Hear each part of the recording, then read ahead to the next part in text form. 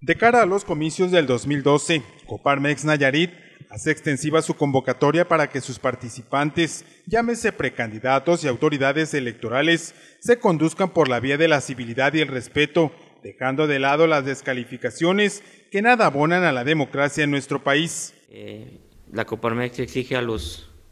a los candidatos que vayan a, contender por una puesta de elección popular, pues que se manejen eh, por la línea de no, no enfrentarse a, sus contrincantes, este,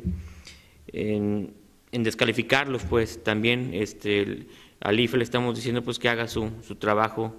que,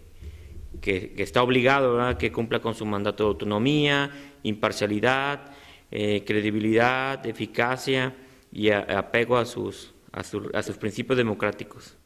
Como en anteriores elecciones, para la del 2012 la Coparmex Nayarit estará haciendo llegar la respectiva invitación para que todos los candidatos a senadores de la República y a diputados puedan estar participando en un debate de propuestas. Ya ha llegado los tiempos en que ya conozcamos los candidatos, haremos la invitación para que vengan aquí a, Coparmex a que puedan debatir eh, o cuando menos no un debate, pero que, que expresen sus ideas.